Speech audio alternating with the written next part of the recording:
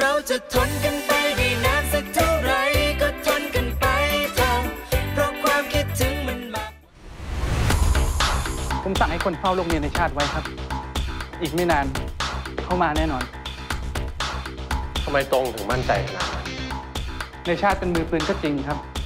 แต่เขารักลูกรักเมียเขามาก ที่ผมรู้เนี่ย เพราะว่าครูโรงเรียนนั้นให้ข้อมูลผมครับนี่อย่าบอกนะว่า โรงเรียนที่ตรงเคยเรียนมาใช่ไหม ใช่ครับ ลูกกำพร้าอยังผม มีทุกวันนี้ได้ก็เพราะว่าคนพวกนั้นให้โอกาส ตอนนี้ผมควรจะตอบแทนสังคมบ้างหัวหน้าครับ ผู้กองครับ ลูกเมียนายชาติหายตัวไปครับ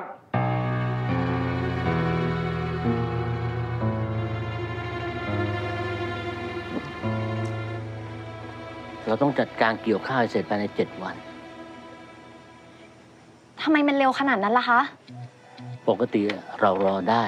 แต่ชาวบ้านเขารอไม่ได้สิ คุณดูสังเกตไหมว่า ชาวบ้านทำนาสมัยเนี่ยไม่ได้อาศัยน้ำจากฝน แต่อาศัยน้ำจากคลองชนประทานจัดสรร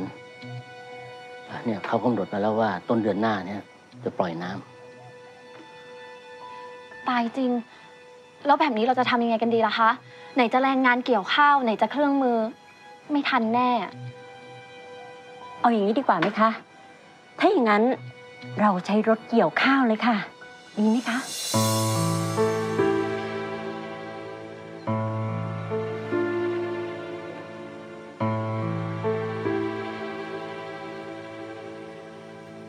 แม่จะรู้ได้ยังไง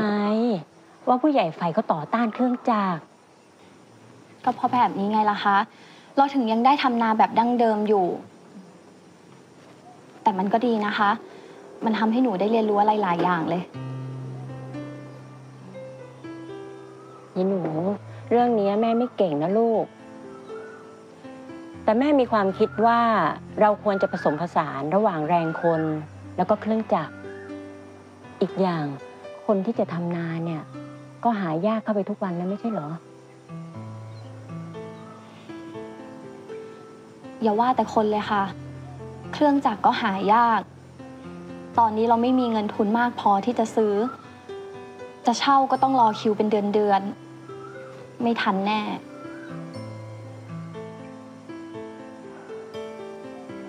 เป็นพ่อแม่แท้ๆเลย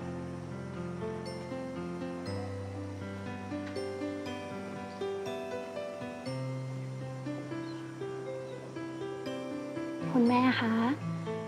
อย่าโทษตัวเองเลยนะคะไอ้หนู แม่คิดว่าแม่พูดให้ผู้ใหญ่ฝ่ายเปลี่ยนใจได้นะลูก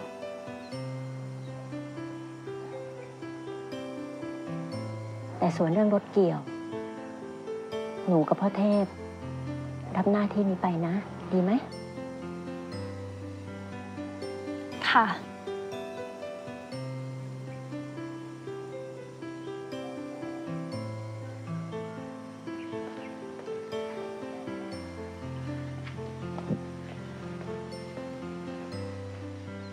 รอพี่อยู่เหรอ มีอะไรด่วนหรือเปล่า คุณแม่รับปากจะคุยเรื่องรถเกี่ยวข้าวกับลุงผู้ใหญ่ให้แล้วค่ะ แต่ว่า น้องหนูต้องรับผิดชอบเรื่องหารถเกี่ยวเองใช่ไหม น้องหนูก็เลยจะปรึกษาพี่ว่าจะทำยังไงดี ใช่ค่ะ ถ้าให้น้องหนูซื้อรถตอนนี้ก็คงไม่ไหว แต่ถ้าจะให้จองคิวรถเกี่ยวก็ต้องรอนานเป็นเดือนเดือนๆมันคงไม่ทันค่ะ พี่ว่าน้องหนูรู้แหละว่าจะต้องให้ใครช่วย แต่ว่า น้องหนูไม่มั่นใจเลยค่ะ น้องหนูทำได้ เชื่อพี่สิ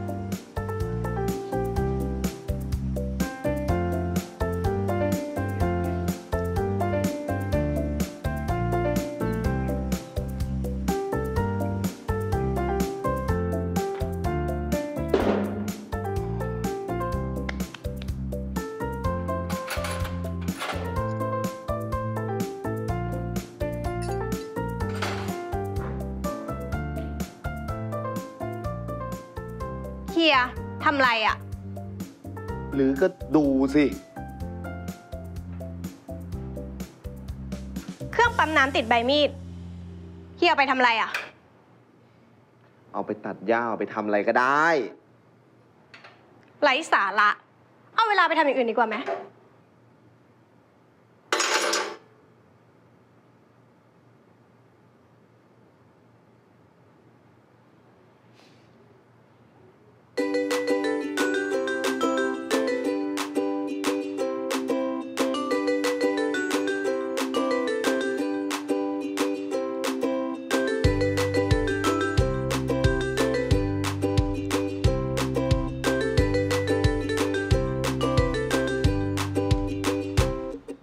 ให้ฉันช่วยอะไร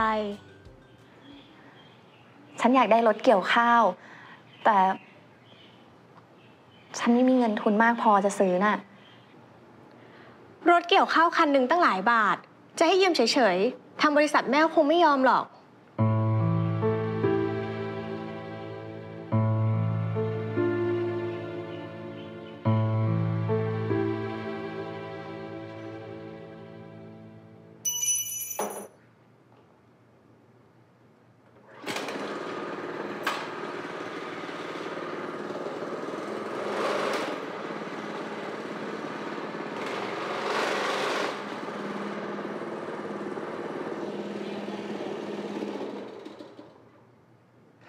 นายนี่มีหัวทั้งด้านช่างนะฟาลัน ลองทำดูเล่น ๆ น่ะ ดีกว่าขี่มอไซค์เบื่อแล้ว นี่ว่าจะเอามาดัดแปลงนิด ๆ หน่อย ๆ แล้วก็อยากให้มันทำได้มากกว่าตัดหญ้าเนี่ยเนี่ย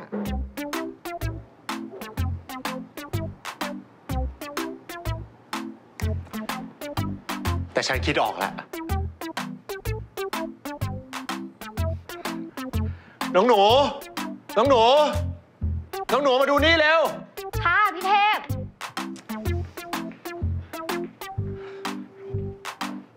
มีอะไรเหรอคะ นี่คือสิ่งที่เราต้องการ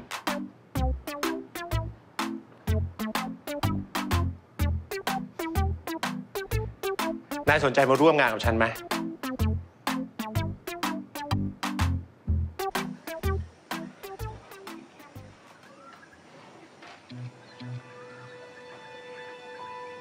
ตามเงื่อนไขของพินัยกรรม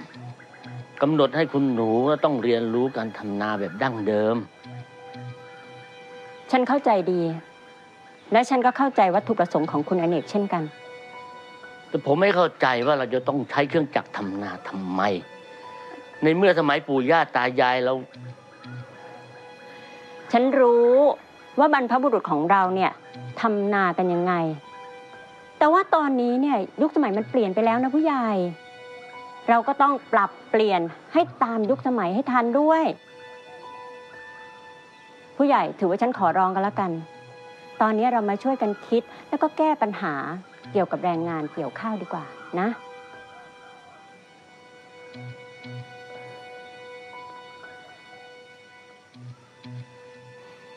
ได้ ผมยอมไม่ใช้เครื่องจักร แต่ไม่ใช่รถไถเกี่ยวข้าวคันใหญ่ ที่พอเกี่ยวแล้วก็สีข้าวลงกระสอบเลยนะครับ มันจะทำให้คนเราอะตกงานคุณนายผมเข้าใจนะครับ นี่คุณอเนกวางแผนไว้ขนาดนั้นเชียวเหรอ ไม่เท่านั้นนะครับ คุณท่านต้องการให้เราพัฒนาโรงสีของชุมชนด้วย คนในหมู่บ้านเรา จะได้มีงานทำ อันนั้นน่ะฉันไม่แน่ใจ แต่เรื่องเครื่องมือเครื่องจักรเนี่ย ฉันไม่ถนัดนะผู้ใหญ่ ไม่รู้อะผมยอมได้แค่เนี้ยพ่อเออพ่อเออคุณนาย ว่าไง คุณหนูได้รถเกี่ยวข้าวแล้ว จริงเหรอ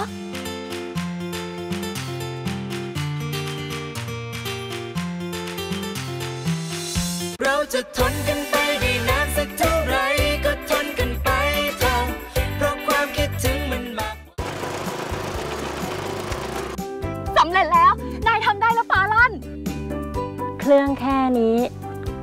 ผิดเงื่อนไขนะผู้ใหญ่ งั้นพรุ่งนี้ลงมือเก็บเกี่ยวกันเถอะก็คือเธอ